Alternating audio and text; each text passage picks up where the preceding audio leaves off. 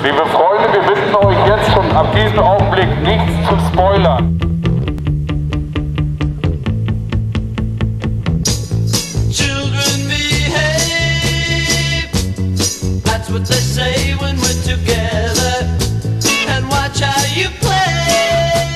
Willkommen zu einer neuen Social Movie Night und dieses Mal zu 10 Cloverfield Lane, dem neuen Suspense-Thriller von J.J. Abrams. Und ich freue mich wahnsinnig auf den Film und darf wieder einen tollen Co-Host an meiner Seite begrüßen. Phil, besser gesagt, Mr. Trashpack. Ja, Robert, vielen Dank, dass ich mit dabei sein darf. Äh, Wie immer, es ist mir eine Riesenfreude und ich glaube, die Leute werden noch richtig Spaß haben heute. Mann, ey, immer. Mann, Patrice ist einfach voll im Einsatz. 440 Leute warten draußen. Wir öffnen jetzt die Tore. Ganz viel Spaß beim Video zur Social Movie Night zu 10 Cloverfield Lane. Heute muss man wirklich auf alles vorbereitet sein.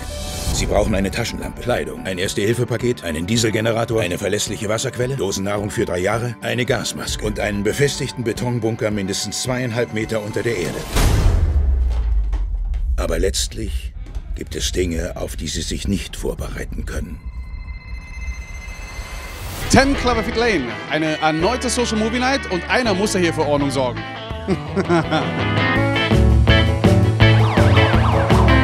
Der Kameramann ist jetzt weg.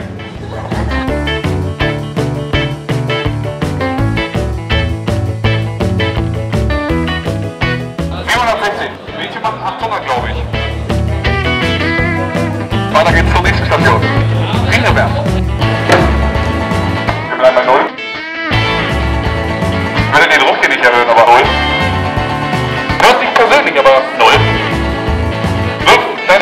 Persönlichkeit.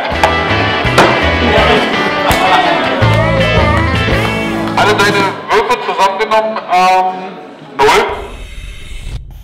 Es gab einen Angriff.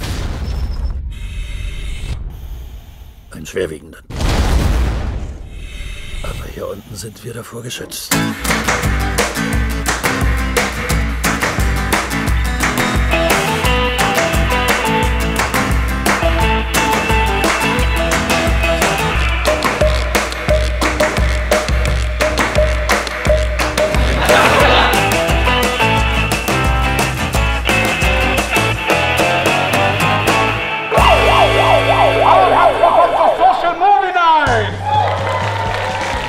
Ihr habt schon 25 Minuten gesehen von diesem Film. Ja, zusammen 50. Die 25 Minuten, die wir gesehen haben, die waren einfach unglaublich spannend. Und das ist, was ich mir bei dem Film erhoffe. Und was ich schauspielerisch sehen konnte, war unglaublich auf einem tollen Level. Und ich kann mir trotzdem nicht zusammenpuzzeln, wie das jetzt alles genau zusammengehört. Ist Goodman ein guter oder ein Batman? Stellst du jetzt nur irgendwelche Spoilerfragen? Ich würd nur- Und jetzt wünsche ich euch im Namen von Paramount Pictures natürlich Riesenspaß mit 10 Cloverfield Lane.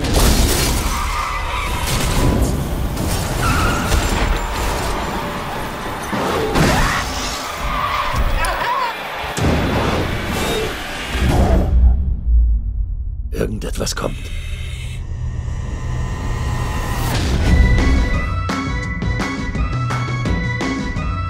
Ich hatte Spaß.